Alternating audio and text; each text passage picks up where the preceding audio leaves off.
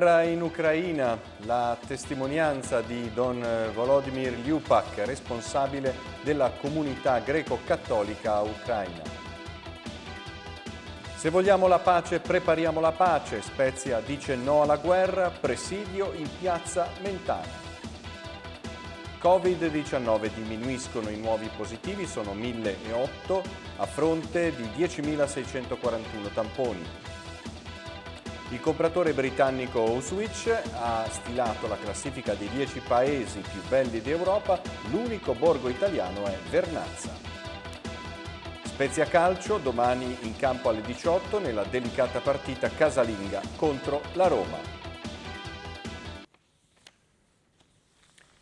Buonasera e ben ritrovati all'appuntamento con il TLS Giornale. La nostra diocesi si è unita alla richiesta di Papa Francesco di offrire la preghiera e il digiuno del mercoledì delle ceneri per implorare da Dio il dono della pace, in modo particolare per la situazione in Ucraina. Ieri sera nella parrocchia di San Pietro Apostolo in Mazzetta il Vescovo ha recitato il Santo Rosario, presente anche Don Volodymyr Liupak, responsabile della comunità greco-cattolica ucraina di Lucca, da lui una testimonianza diretta su come la comunità ucraina sta vivendo questi terribili momenti. Vediamo il servizio di Nicola Carozza e Sergio Diofili. Non pensavamo di rivivere l'emergenza della guerra all'interno dell'Europa. Cosa sta vivendo la comunità ucraina? Noi eravamo eh, posso dire quasi sicuri che non succedesse questo che è accaduto alla larghezza di una violenza così eh, totale contro il nostro paese. Certamente il primo colpo eravamo spaventati, non, non credevamo ai nostri occhi che questo è verità che sta accadendo. Oggi la comunità spezzina si è unita per pregare per la pace, per la pace per tutti gli uomini. Eh sì, questa per noi è stata, per me personalmente e credo che per tanti nostri fedeli sia qui eh, a Liguria che anche a Toscana perché trasmette televisione per, eh, per diver, diversi, diversi, posti e penso che tante persone si potevano eh, riunire per pregare soprattutto qua dove sono stato presente fisicamente ho visto una chiesa che prega, prega per la pace, pace come dono di Dio, pace come dono di principe di pace di Cristo per tutti noi. Anche Monsignor Palletti ha invocato la pace come una pace che nasce innanzitutto dal cuore. È vero perché eh, questo che lui ha espresso oggi, il Vescovo, eh, lui questa cosa porta nel suo cuore, nel proprio cuore, perché conoscendo lui da, da tanti anni io posso questo testimoniare come sacerdote, come un credente e la mia presenza anche questa sera era, era sua, eh, il suo invito per pregare assieme. E allora invitiamo anche tutti i telespettatori di Tele Liguria Sud di unirsi con noi in una preghiera magari poi nelle proprie case. Sì, perché il Signore non eh, lascia i limiti, il Signore unisce i cuori e ringraziando anche TV e questo coro bellissimo che è cantato qua in questa parrocchia, eh, veramente vorrei soltanto citare eh, del secondo mistero del dolore, quello che è scritto da Gaudium e Spes pastorale eh, in tal modo la pace è frutto anche dell'amore, il quale ha oltre quanto può apportare la semplice giustizia, quindi la pace è più di giustizia, noi cerchiamo a volte la giustizia, invece Dio dona la pace, unendosi nella preghiera potevamo questo sperimentare assieme. Grazie. Grazie, buona serata a tutti, Signore benedica. E a partire da questa sera la facciata del Palazzo Civico della Spezia sarà illuminata di blu e giallo, i colori della bandiera ucraina, per esprimere solidarietà al popolo ucraino attaccato militarmente dalla Russia. Venti di guerra nell'est Europa, se vogliamo la pace, prepariamo la pace. È questo il grido sotto il quale i pacifisti spezzini si sono riuniti in un presidio in piazza Mentana, una manifestazione che condanna quanto sta accadendo in Ucraina, ma che richiama le conseguenze che gli eventi bellici hanno sulla provincia spezzina. Vediamo il servizio di Davide Morina e Ginevra Masciullo. Siete scesi in piazza contro la guerra. Qual è il messaggio che volete far passare in questa giornata? Il messaggio eh, complessivo è quello che fa riferimento alla rete italiana Pace e Disarmo, eh, quindi eh, che eh, fa richiamo al fatto che la pace si costruisce tutti i giorni, ogni giorno, con azioni costanti e coerenti, in scelte politiche, economiche e sociali che vadano verso la costruzione di una pace vera e la prevenzione dei conflitti armati. Eh, per essere chiari in questo senso abbiamo fatto nel nostro eh, appello, si torni a un tavolo di trattative e abbiamo fatto riferimento anche alle, alla nostra situazione locale.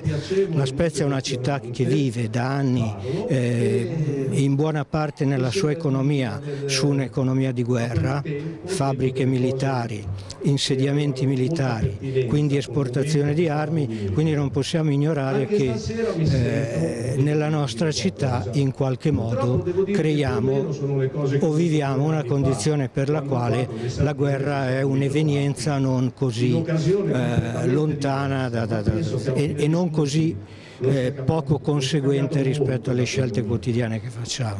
Il pensiero di questa giornata è rivolto anche alle tante vittime civili che ci saranno in questa guerra. Sì, già ora abbiamo visto quanto ci siano stati i primi bombardamenti, già le prime vittime tra i civili e abbiamo visto quell'enorme massa di eh, popolazione che si sta allontanando, i primi decine di migliaia di profughi che stanno in condizioni invernali tremende stanno varcando i torfini per cercare una salvezza. Dobbiamo fare di tutto per riuscire a far sì che ci sia un cessate il prima possibile del fuoco per salvaguardare salvaguardare la vita umana e per impedire che ci sia un enorme flusso di profughi nell'Europa. Purtroppo in queste ore stiamo vedendo tanta violenza e questo riporta indietro delle ombre del passato che avremmo preferito non vedere più. Beh, sicuramente. E io in questo momento posso dire che rappresento me stessa, ma rappresento anche l'ANE dell'Associazione degli ex deportati nei campi nazisti. Voglio ricordare che proprio i deportati, quando coloro che sono sopravvissuti, il 16 di maggio nel campo di Mauthausen si sono riuniti i sopravvissuti e hanno fatto un giuramento, quello che noi ricordiamo come il giuramento di Mauthausen, nel quale hanno giurato non odio, ma solidarietà e soprattutto sottolineo la parola solidarietà internazionale, perché questo è quello che giurarono, di rimanere uniti una volta raggiunta la, la libertà per creare un mondo nuovo, un mondo dell'uomo libero, un mondo basato sulla fratellanza, la solidarietà e la giustizia. Quindi in virtù di questo diciamo no alle guerre. Il Consiglio Comunale di Amelia all'unanimità ha deciso di donare il gettone presenza della prossima seduta alla raccolta fondi promossa da Croce Rossa Italiana per aiutare la popolazione ucraina in questo momento di estrema urgenza e difficoltà. Lo rende noto la Presidente del Consiglio Comunale ameliese Chiara Salomoni. E vediamo ora i dati diffusi da Alisa sull'andamento della eh, pandemia da Covid-19 in regione Liguria e nella provincia spezzina. Diminuiscono i nuovi positivi rispetto alla giornata precedente, sono 1008 i nuovi a fronte di 10.641 tamponi effettuati, di cui 2.846 molecolari e 7.795 antigenici rapidi. Alla Spezia i nuovi positivi sono 119. Purtroppo si aggiorna la lista decessi con quattro vittime, uno dei quali in Asle 5, una donna di 87 anni mancata al San Bartolomeo di Sarzana. Sale così a 5.090 il numero totale delle persone decedute da inizio pandemia in Liguria. Nella nostra provincia poi i casi attivi sono 1.946 su 15.150 regionali. Continua anche a calare le, la pressione delle strutture ospedaliere dove i ricoverati odierni sono 371, 22 in meno rispetto alla giornata precedente. Stabili le terapie intensive a 23. In dettaglio si tratta di 11 non vaccinati e 12 vaccinati con patologie Covid correlate. Anche nella nostra provincia calano le ospedalizzazioni a quota 32, 4 in meno, stabili le terapie intensive a quota 3. Superate infine le 3 milioni e 390 mila dosi vaccinali somministrate nella nostra regione. Arriveranno a destinazione domenica eh, 27 febbraio, quindi domani, i furgoni del Corriere Espresso di Poste Italiane SDA per la prima fornitura nella provincia spezzina del nuovo vaccino anti-Covid-19 Novavax. Le dosi in consegna presso l'ospedale San Bartolomeo di Sarzana sono 3.600. Ammontano a 189 milioni i fondi del PNRR per la sanità in Liguria. Saranno destinati a 33 case di comunità, 11 ospedali di comunità e 16 centrali operative territoriali, ma verranno utilizzati anche per adeguamenti alle normative antisismiche, digitalizzazioni e acquisto di nuovi macchinari e attrezzature. Ne ha parlato il governatore e assessore alla sanità Giovanni Toti in Commissione Salute in Consiglio regionale. In particolare 70 milioni saranno destinati alla realizzazione di case di comunità, ospedali di comunità, centrali operative territoriali, 50 milioni eh, per interventi antisismici, 34 milioni per la digitalizzazione e 28 milioni per nuove attrezzature. Al governatore rispondono i gruppi consigliari di minoranza liste d'attesa che continuano a crescere, mancate risposte sul personale, riorganizzazione della sanità territoriale imposta dall'alto, senza un dialogo con il territorio e gestione dei fondi del PNR, senza eh, una programmazione. Così i capigruppo di minoranza in regione, Luca Garibaldi, PD articolo 1, Ferruccio Sansa, lista Sansa, Fabio Tosi, Movimento 5 Stelle e Gianni Pastorino, linea condivisa dopo il comunicato di Toti sugli investimenti del PNRR in Liguria per la sanità, in cui risponde ad alcune delle domande poste dalla minoranza in aula ma eluse. E ora ascoltiamo la consueta nota eh, di Riccardo Sottanis, l'argomento è il traffico e la sicurezza sulla strada napoleonica per Porto Venere. Sentiamo. Code chilometriche negli weekend sulla strada per Porto Venere, quella che comunemente viene definita la napoleonica. Da anni gli abitanti delle frazioni spezzine di Ponente, Marola e Cadimare e quelle di Fezzano e Le Grazie in comune di Porto Venere sollecitano interventi migliorativi per evitare i continui blocchi in caso di incidente e garantire sicurezza alle persone, essendo la careggiata priva di marciapiede negli attraversamenti degli abitati. La situazione si trascina ormai dagli anni Ottanta, del secolo scorso. Si era parlato allora della realizzazione di un tunnel in modo da liberare i centri abitati. L'ipotesi tunnel tramontò però quasi subito per l'opposizione del comune della Spezia. Da allora la strada ha mantenuto lo stesso vecchio tracciato, salvo qualche piccolo miglioramento. Tutto questo nonostante la presenza di un impianto strategico, la SDAM, nella baia di Panigaglia. Oggi della napoleonica si torna a parlare perché negli ultimi fine settimana la situazione è diventata insostenibile a causa delle lunghissime code che di fatto bloccano l'arteria per ore. Porto Venere è diventata una meta preferita da spezzini e turisti già in questo periodo, figurarsi cosa accadrà durante la prossima stagione estiva. Il problema è all'attenzione dell'amministrazione provinciale, subentrata ad ANAS nella gestione della strada. Finalmente si parla della necessità di reperire finanziamenti per affrontare alla radice il problema.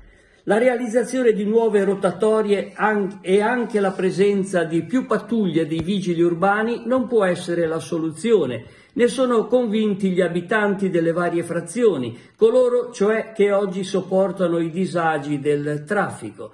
Stefano Fagioni, già presidente della circoscrizione Marola Cadimare, non ha dubbi sulle cose da fare. Occorre ampliare la strada e mettere in sicurezza la rotonda di Cadimare. Certo, Oggi non possiamo più sopportare questa situazione, ne è convinta anche l'amministrazione provinciale che ha inserito la Napoleonica nel piano delle opere strategiche nazionali. Si chiede un finanziamento di 6 milioni di euro, non sono la soluzione, ma con quei soldi, se arriveranno, si potranno apportare quelle modifiche al tracciato che daranno più sicurezza ai cittadini ed eviteranno le code cui assistiamo sempre più frequentemente anche in pieno inverno. Poco prima delle 10.30 di ieri, durante un normale servizio di controllo del territorio, gli agenti di un equipaggio della squadra volante della polizia hanno notato in via Lunigiana un individuo che alla vista dei poliziotti si è dato subito alla fuga dirigendosi verso la stazione ferroviaria di Migliarina. L'uomo, inseguito a piedi dai poliziotti, prima di essere raggiunto ha estratto dalla tasca della giacca due oggetti e li ha lanciati contro un camioncino che stava transitando. Si trattava di un bilancino di precisione e di un involucro di celofan contenente un panetto di hashish del peso di circa 60 grammi. Sottoposto a successiva perquisizione, l'uomo, un cittadino marocchino di 42 anni con precedenti specifici in materia di sostanze stupefacenti, è stato trovato in possesso di un'altra sostanza stupefacente confezionata per un peso complessivo di 82 grammi e di alcuni oggetti in oro da donna sequestrati insieme alla droga. Trattenuto presso le celle di sicurezza della questura, l'uomo è stato processato per direttissima nel corso della mattinata. Il responsabile del danneggiamento aggravato di entrambe le fiancate di un'auto in sosta nel quartiere San Giorgio avrà pensato di averla fatta franca visto che era trascorso più di un mese da quando aveva compiuto l'atto vandalico. Probabilmente però il soggetto non aveva tenuto conto della ormai capillare diffusione delle telecamere di videosorveglianza piazzate in tutto il centro storico e tantomeno della determinazione degli agenti del nucleo di polizia giudiziaria e della polizia locale di dare un volto e un nome all'uomo. E ora, come ogni sabato, vediamo in anteprima le notizie che saranno presenti domani nella pagina dedicata alla diocesi della Spezia Sarzana Brugnato nel quotidiano cattolico Avvenire. Fermarsi, riflettere, progettare. Il Vescovo Palletti invita tutti ad intraprendere un cammino di profonda revisione di vita. In apertura della pagina spezzina di Avvenire di questa settimana trovate il messaggio del Vescovo per il periodo di Quaresima e trovate anche i primi appuntamenti del cammino quaresimale della diocesi. Invece venerdì scorso alla Spezia nella chiesa di San Pietro a Mazzetta si è tenuto il rosario per la pace alla presenza anche di un prete dell'Ucraina, nazione come ovviamente sapete tormentata dalla guerra dopo l'attacco sferrato nei giorni scorsi dalla Russia. A fondo pagina imparare in cinque incontri come essere bravi genitori. Il primo di questi incontri si terrà eh, sabato 12 marzo alle 17 nei locali di casa Massà. L'iniziativa è stata organizzata dall'associazione La Famiglia e si tratta appunto di un progetto dedicato ai futuri genitori. A fianco il sorriso della primavera, l'inverno sembra già in archivio, l'effetto è piacevole ma induce a considerare bene il futuro. È una riflessione di Egidio Banti sull'importanza della tutela dell'ambiente e della difesa della natura. E infine l'articolo di spalla, ripresa e resilienza passano da un sociale che parla di sofferenza. Dal giorno d'inizio della pandemia i 15 servizi parrocchiali collegati stabilmente alla Spezia con l'osservatorio della Caritas hanno accolto e assistito 2.465 persone. Queste le principali notizie che potrete leggere domani sull'inserto spezzino del quotidiano cattolico Avvenire. Si è svolta questa mattina l'assemblea delle aggregazioni laicali diocesane della Spezia, un momento d'incontro sul cammino verso il Sinodo universale della Chiesa del 2023. Raffaele Maulella con le immagini di Davide Morina. Con l'assemblea delle associazioni laicali della diocesi della Spezia è iniziata stamattina un'altra tappa del cammino sinodale, un sinodo che, com come ha detto lei anche nell'introduzione, è un sintomo di ascolto, ma di ascolto nel discernimento, non è un dibattito.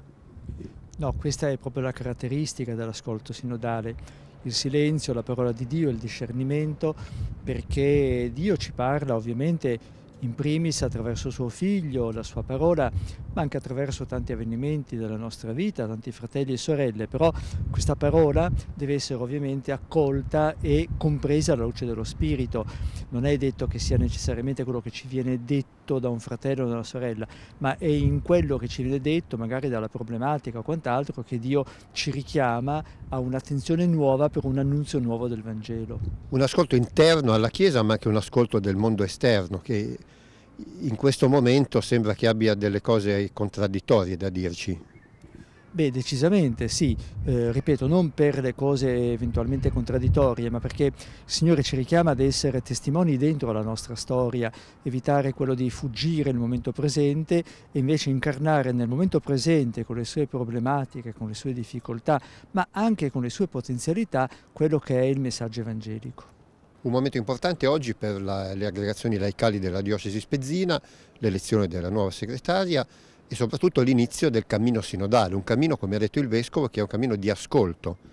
È un cammino di ascolto anche perché siamo tante associazioni e non sempre ci conosciamo tutte, per cui questo cammino è proprio per camminare insieme. So che, ripeto, però è un eh, progetto eh, ovviamente dato dalla Chiesa per continuare a camminare insieme fino al 2025. L'ascolto, noi ci siamo divisi in cinque gruppi, la domanda principale è come fa la Chiesa appunto per camminare insieme, come fare a seguire lo Spirito Santo e noi ci siamo divisi in cinque gruppi, si parlava di dialogo, si parlava di ascolto, di, si parlava di appunto camminare insieme il nuovo progetto poi del, della consulta, della nuova consulta, è quella di conoscerci, quindi di vedere, eh, di portare avanti il nostro cammino, ma conoscendo tutti i vari gruppi, spesso e volentieri abbiamo diversi talenti, confluiamo tutti verso Cristo, però eh, non sempre ci conosciamo, per cui in questi tre anni vogliamo eh, conoscerci di più. Dal primo marzo il comandante provinciale dei Vigili del Fuoco, primo dirigente ingegnere Leonardo Bruni, lascerà il comando della Spezia e il Corpo Nazionale dei Vigili del Fuoco per limiti di età. Al suo posto subentrerà l'architetto Maria Francesca Conti.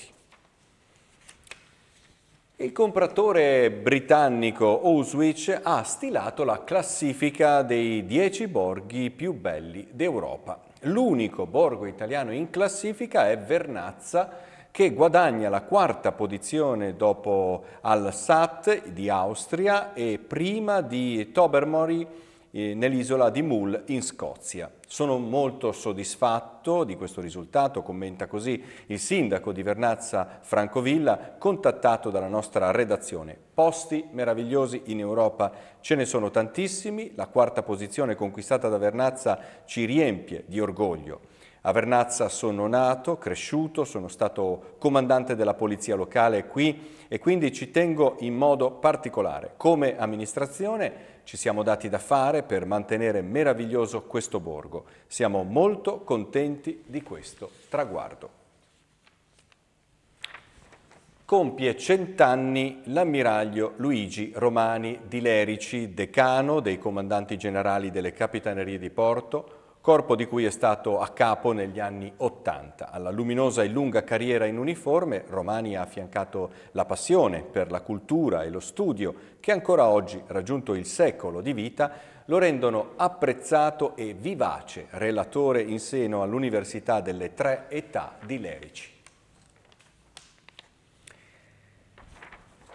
Nella giornata di lunedì prossimo 28 febbraio Loriano Isolabella alle ore 18.30 sarà alla sala del ristorante La Gira in località della Foce e presenta il suo saggio diario in viaggio nella nostra storia repubblicana. Sono previsti nella presentazione gli interventi del giornalista Riccardo Sottanis. L'autore coglie l'occasione di inserire tanti scampoli della vita della nostra città, illustrando le varie iniziative assunte per trasformare negli anni Ottanta il nostro sistema economico. E passiamo al calcio, parliamo dello Spezia. In vista della sfida contro la Roma, il tecnico aquilotto Tiago Motta ha parlato come di consueto in sala stampa. Sentiamo. Ogni partita è una storia diversa, a Bologna è andata così, eh, tante cose che, che dobbiamo migliorare. L'importante è mantenere la continuità del lavoro che avevamo che avevamo dimostrato nelle ultime partite, eh, nei primi minuti contro il Bologna, eh, affrontare una, una squadra importante, difficile perché è costruita per andare in Europa e il nostro campionato è qualcosa di diverso, giocando in casa e affrontare la partita come l'abbiamo fatto sempre, al massimo, cercando di, di portarla dalla nostra parte e, e alla fine se meritiamo avere un risultato positivo. Enzola sta, sta bene e stava bene anche prima, però c'è davanti a lui un giocatore che, che, sta facendo anche lui molto bene, che è il caso di, di Ray. Eh, non abbiamo Manai per una squalifica e la possibilità di poter giocare eh, Enzola perché è uno disponibile, è uno che si sta allenando come gli altri, vedremo come per tutti gli altri giocatori di valutare anche l'ultimo allenamento e mettere la migliore squadra possibile in campo. Kevin uh, entrando durante la gara ha fatto bene le ultime partite, sa che deve e che può fare ancora meglio. E anche prima era pronto per fare dall'inizio, però le scelte sono state diverse e, e vedremo anche lui valutare per la partita contro la Roma se inizia o se alla fine aspetta il suo momento per poter aiutare le squadre dopo. È un momento difficile sicuramente per lui, per tutti noi, qualcosa che succede mondialmente che, che nella storia si è visto che vanno evitate, che le guerre vanno evitate e, e cercare di, prima possibile, che si torni in primo piano la, la diplomazia e stare vicino a un giocatore, a un ragazzo, a una persona come, come Kovalenko che tutti i giorni con noi, ha tutto il nostro sostegno. Poi eh, a livello sportivo, eh, prima di una partita valuto tutte le, le possibilità, è, è, un qualcosa, è, un, è, una situazione particolare dove devo anche lì eh, valutare in un modo un po' più diverso degli altri.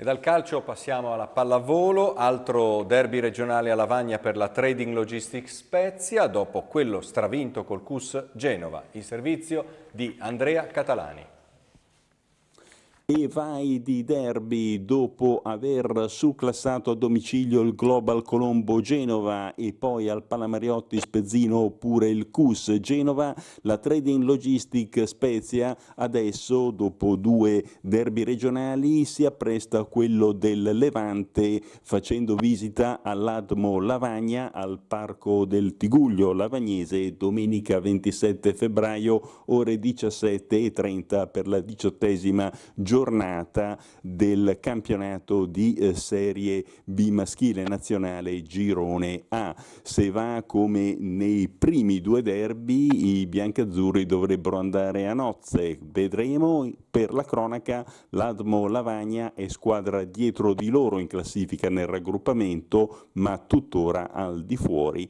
della zona retrocessione. Le immagini intanto si riferiscono al 3-0 rifilato al CUS. Allora, è stata una partita molto difficile, ci aspettavamo una squadra forte eh, che da quando ha effettuato il cambio dell'allenatore ha preso un ritmo completamente diverso. E abbiamo seguito bene le indicazioni del coach e, e ha pagato. Abbiamo vinto 3-0, risultato utilissimo per la classifica.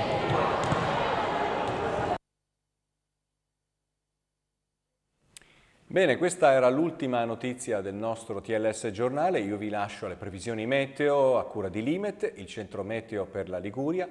Vi ringrazio della cortesa attenzione e auguro a tutti una buona serata e per domani una santa domenica. Arrivederci.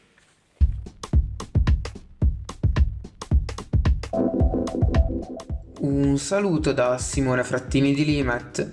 Ultimi giorni del mese caratterizzati da correnti settentrionali. Sono attese giornate stabili e prevalentemente soleggiate. Ma veniamo ai dettagli per quanto riguarda la giornata di domani, domenica 27 febbraio, in Liguria. Al mattino bel tempo sull'intera regione, da segnalare solamente qualche innocua nube sull'estremo ponente. Nel pomeriggio ancora condizioni di bel tempo, con solo qualche stratificazione medio-alta sul levante, specie interno. Ancora nubi sparse sull'imperiese. I venti saranno moderati dai quadranti settentrionali, locali rinforzi fino a tesi in serata. Il mare si presenterà poco mosso o stirato sotto costa, mosso al largo. Ed infine le temperature, che saranno in ulteriore lieve calo. Lungo la costa i valori del mattino oscilleranno tra 2 e 9 gradi, mentre nell'interno tra meno 9 e più 2 gradi. Le temperature massime saranno comprese tra 10 e 14 gradi sulla costa e tra 4 e 11 gradi nelle zone interne. Per questa edizione è tutto, maggiori info sul nostro portale centrometeoligure.com e inoltre vi ricordo di scaricare e consultare la nostra app gratuita Limet.